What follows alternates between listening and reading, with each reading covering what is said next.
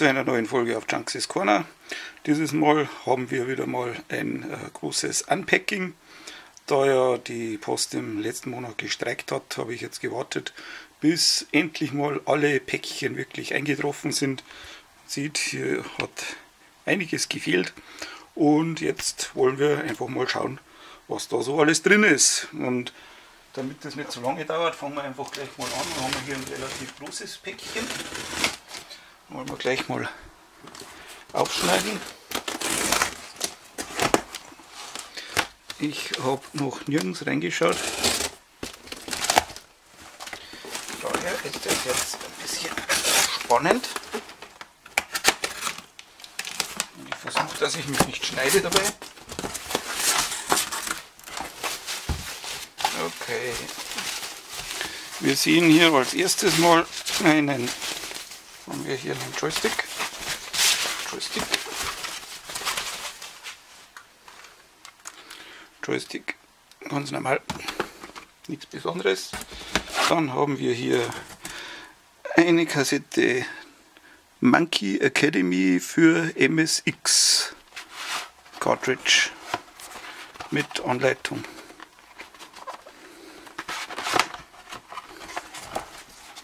Genau, so schaut das aus.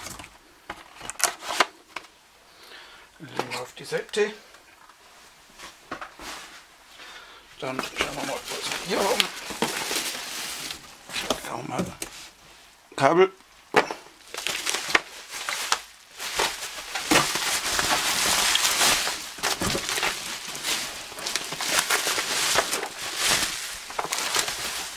Vier Folie und was haben wir hier? Einen Sony Hitbit MSX Computer. Genau. Sony Hitbit MSX. Können wir mal hier herstellen. Dann gleich das nächste Päckchen kommt aus England. Schauen wir mal, was wir hier drin haben.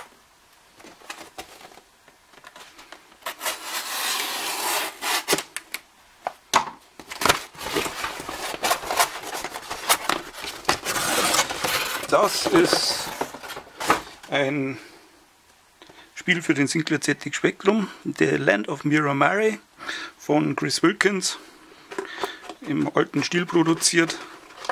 Schauen wir mal rein. Einen Button raus und hier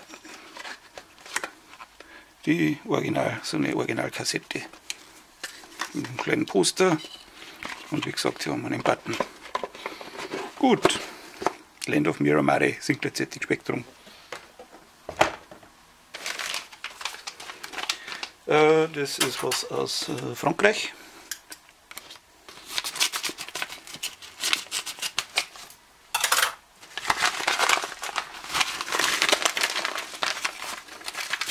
Immer dran denken vor der Kamera machen, damit man auch was sieht. Gut verpackt.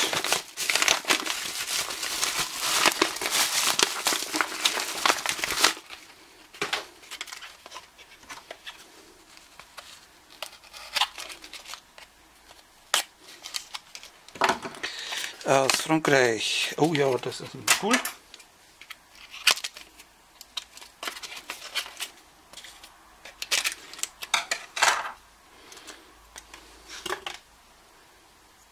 Das ist ein CPC RTC, das ist ein Urmodul im MX4-Format für den Schneider CPC.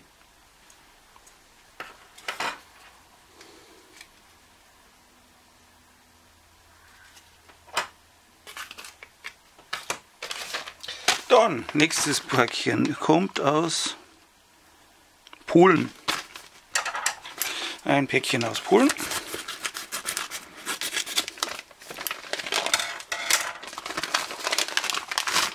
Gut verpackt auch.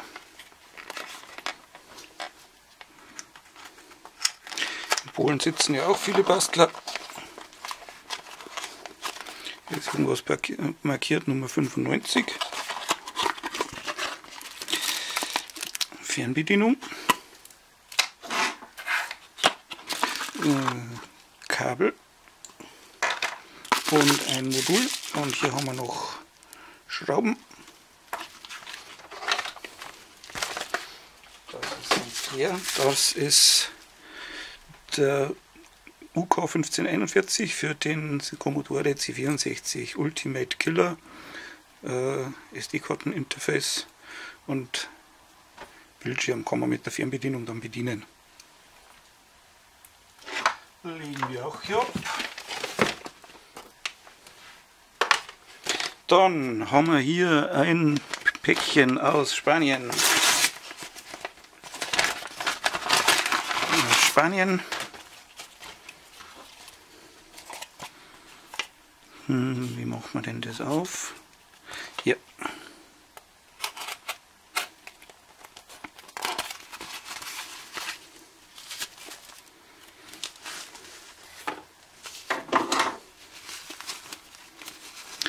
Et voilà. Was ist das hier? Ähm, wir haben einen Block angeschaut, das ist, ein, das ist der Vectrex, äh, Matteo, Matthäus Vectrex Burner, Burner Dumper und der wurde mir umprogrammiert, damit er kompatibel ist zu dem hier. Das hier ist eine Multi-Flashcard für den Atari Lynx. Also mehrere Sachen drauf auf den für den Lynx. Mehrere Spiele bis zu 16. Dann, was haben wir hier? Das ist was aus kommt denn das hier? Ach ja, das kommt aus Kino. Das ist ja gut verpackt.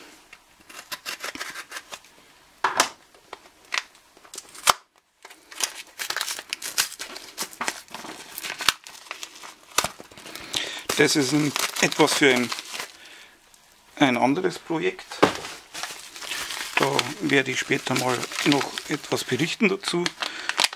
Das ist eine Platine ein sogenannter blauer Engel. Und was das, das Projekt heißt insgesamt Blauer Engel und was das genau macht, das gibt es nochmal auf meinem Blog mal zu sehen. So schaut das aus, ist blau. Genau, ist so eine kleine Platine.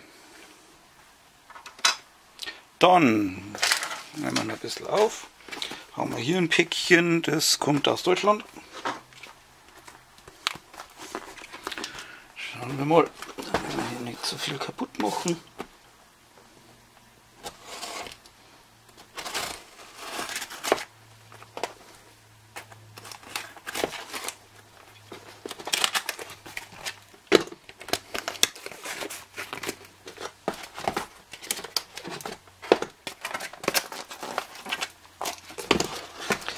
Gar nicht so einfach.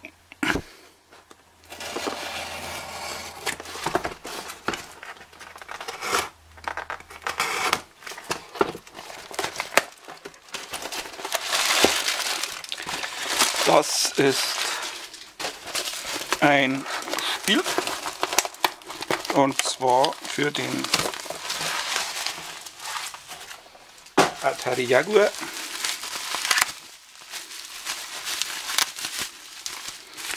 Und zwar das Spiel Ausweichmanöver von Luxoft.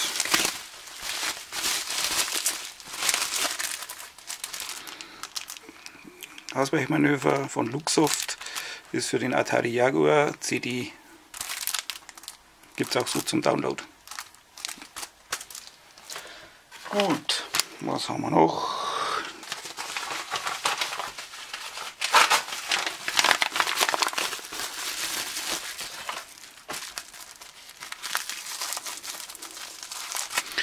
Das kommt auch aus Spanien. Was haben wir denn da noch gekauft?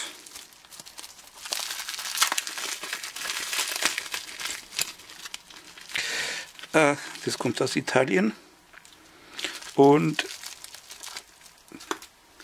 ist ein Plus 3 Erweiterung, Plus 3i Erweiterung für den Sinclair ZX Spectrum, ist praktisch ein IDE Interface für den Sinclair ZX Spectrum Plus 3 mit dem passenden ROMs dazu und das Modul. Das wird in Spektrum verbaut, da kommt der Prozessor rein und die ROMs müssen ausgetauscht werden beim Plus 3. Dann nächstes Paket kommt aus Frankreich,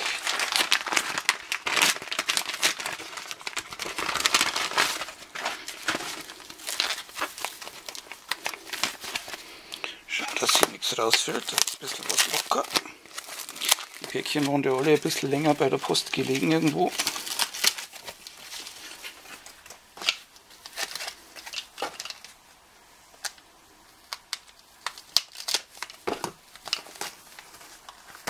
Genau. Das ist ein Nachbau des Multiface 2 für den Schneider CPC im MX4 Format für die MX4 Grundplatine.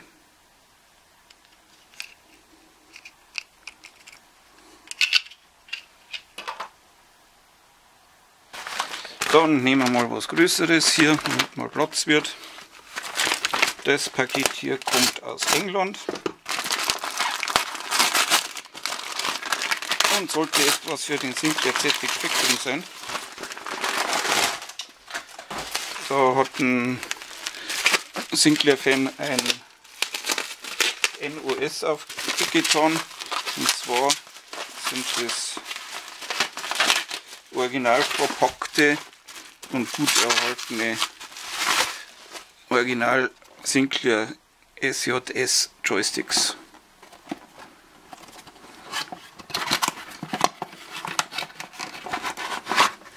in wunderbarer Kondition. Sehr schönes Gerät. Sinclair ZX Spectrum SJS Joystick. Dann machen wir gleich weiter mit dem hier.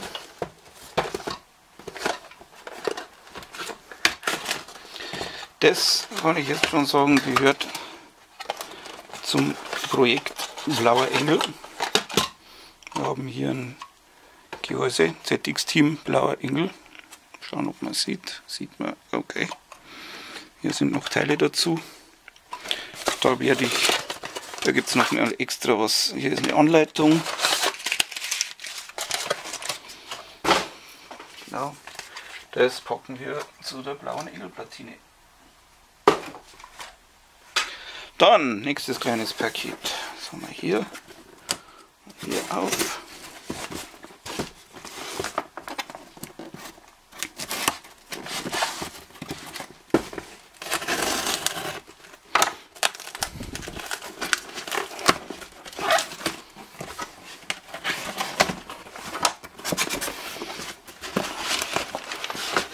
steht was von Atari drauf. Das ist leer.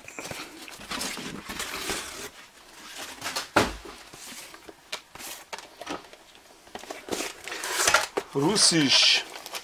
Das ist ein Pentagon.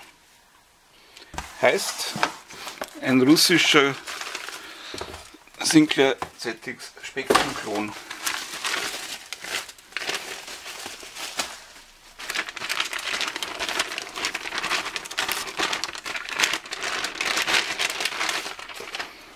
So schaut die Platine aus.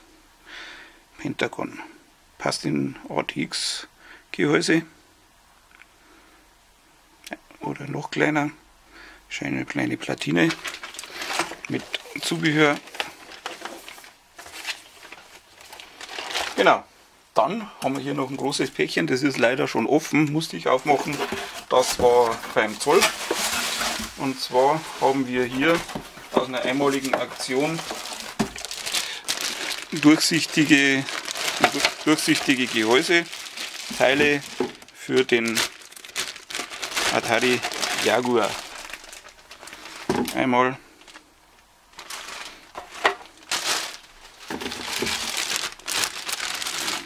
Zweimal.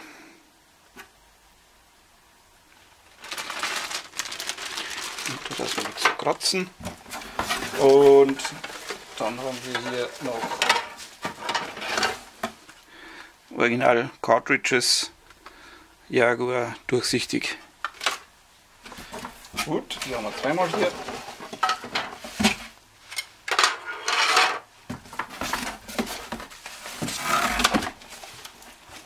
Oh, da kommen noch mehr Päckchen zum Vorschein. Hier. So, finde ich mein Messer nicht mehr. Eine Versandbox.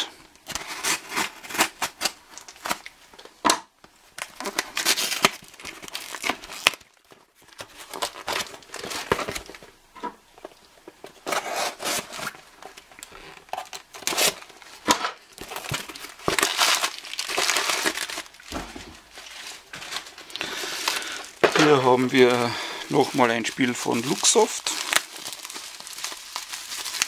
Diesmal für den äh, für die Vectrex Konsole. Und zwar das Spiel heißt Obsolet.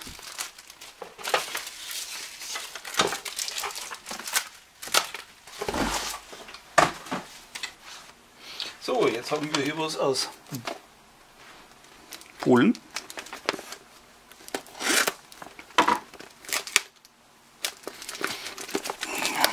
Knapp vorbei. Geschnitten.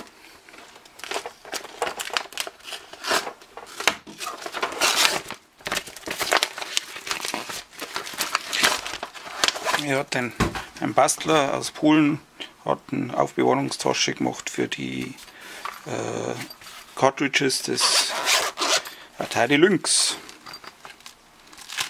Sehr nett gemacht. Handarbeit. Kommt man die ganzen Cartridges unter, wenn man die mal irgendwo hin mitnehmen will. Schön. Dann haben wir hier noch ein Päckchen äh, aus Deutschland. Das ist was von eBay. Nee, ja, sowas ähnliches über eine Facebook-Gruppe Facebook habe ich das bekommen. Hier sind ein, zwei Sachen drin. Seite. So, und legen wir es mal hier hin. Sollte man es einigermaßen sehen. Hier haben wir ein paar äh, Vectrex Bedienungsanleitungen.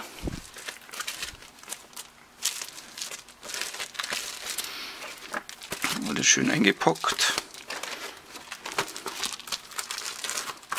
Richtig rumhalten. So rum, so rum, so rum. Und das hier und das hier. Gut, dann haben wir hier noch äh, Overlays dazu.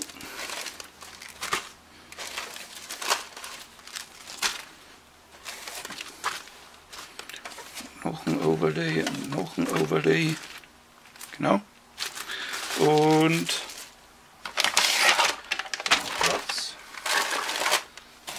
Hier haben wir doch die Spiele dazu.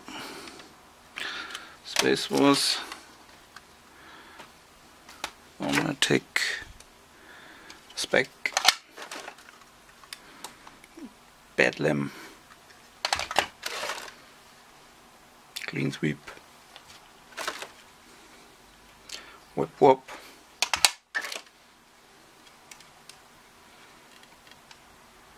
Das ist Fortress of Nassot und Starhawk.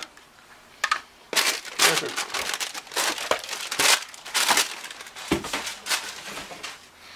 Dann haben wir hier noch was Kleineres. Genau. Das sind Alpiner für den TI 994A.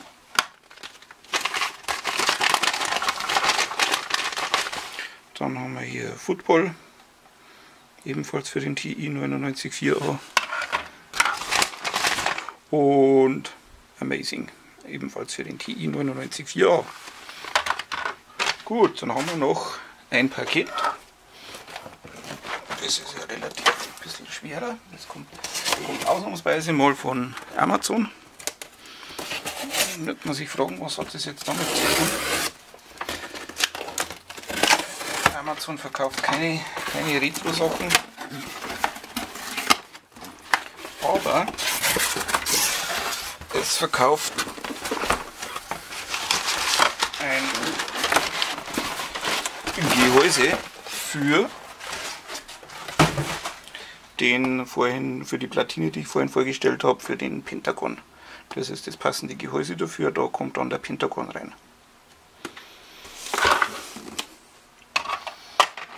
Genau, das war's mit einem Unboxing-Video von Junksies Corner im Juli 2015.